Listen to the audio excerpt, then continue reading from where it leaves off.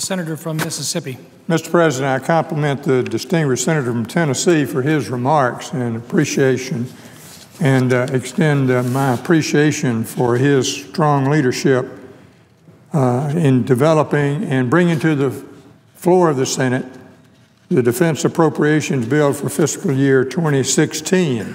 Specifically, I urge the Senate to do as he suggests.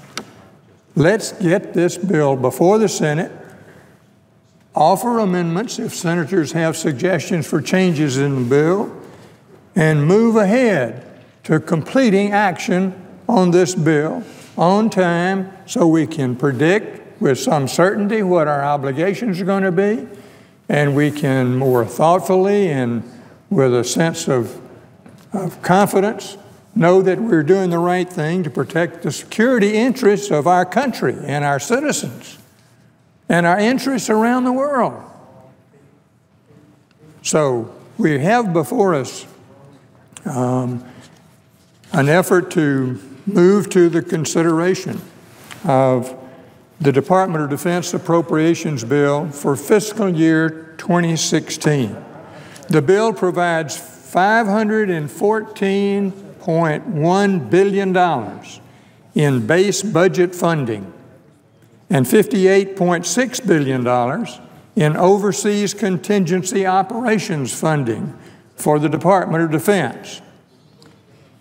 The Senate Appropriations Committee has worked on a bipartisan basis to write and approve 12 individual appropriations bills this year.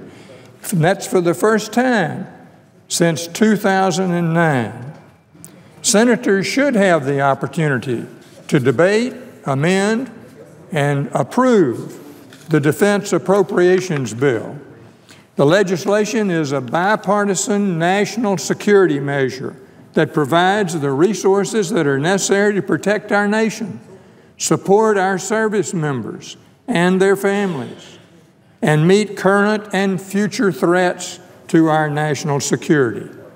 We have no greater priority than protecting our national security interests here at home and abroad.